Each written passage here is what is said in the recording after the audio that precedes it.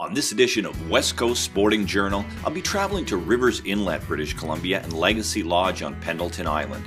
On this episode, I'll be covering saltwater fly fishing strategies to locate preferred bait and salmon holding areas through the visual topography when searching new fly water. Join me today in Rivers Inlet at Legacy Lodge for saltwater fly fishing for salmon on today's show.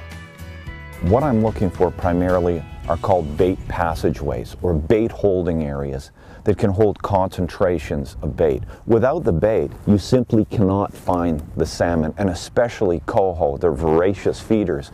In this area, we've got what looks like a sheer cliff face, but actually when you might not pick it up on your electronics 100 feet out, but as you move and, and do your exploratory work, visual indicators are, I'm noticing kelp on the inside, I can visually, through the use of a ground glass lens, see dark areas and light.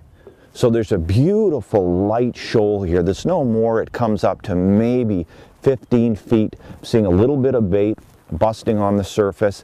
And what I mean by a passageway, we go through a dark area to my right. There's also a kelp island. So when I look at the topography of this area, I've got a perfect bait passageway where it will hold bait and also where coho can predate on these needlefish, anchovies, or herring. Once I've found the bait and I found my key indicators of bait, salmon, underwater reefs, kelp, I've got all of my elements. I've got to make a decision. Am I going to be casting on the move, on a wind drift, or am I going to be anchoring? My anchoring choices are a traditional anchor, or I can simply take some rope from the bow or stern and tie up to the kelp as it's rooted to the ocean floor. I think my choice today, because the wind isn't too bad, I'm going to actually just wind drift through these bait passageways, trying to locate the first salmon of the day. And I can see the bait busting on the surface, so I know there are some fish here. With wind drifting, the whole point of saltwater fly fishing is making sure that that fly presentation is in the zone, in the fly zone as long as possible. And that's the beauty of wind drifting as opposed to anchoring. Anchoring will determine how that fly will be presented. When you've got the luxury of wind drifting, you can present that fly in many different angles, both inshore, side to side, or a little bit offshore. Okay, here we go. There's a fish right behind me. Let's see if we can get him.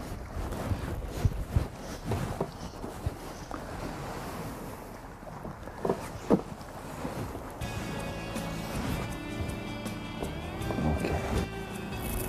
There you are.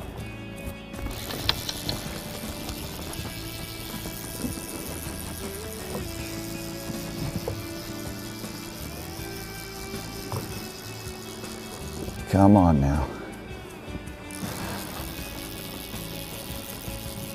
That's the beauty of wide arbor reels. Fast pickup, or these fish will be all over you.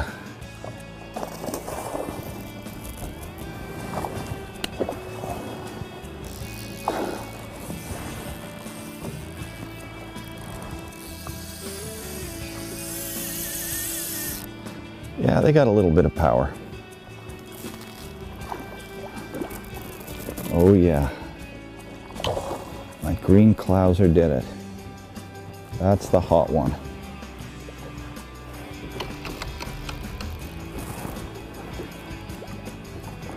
Saltwater fly fishing, a very rewarding hobby.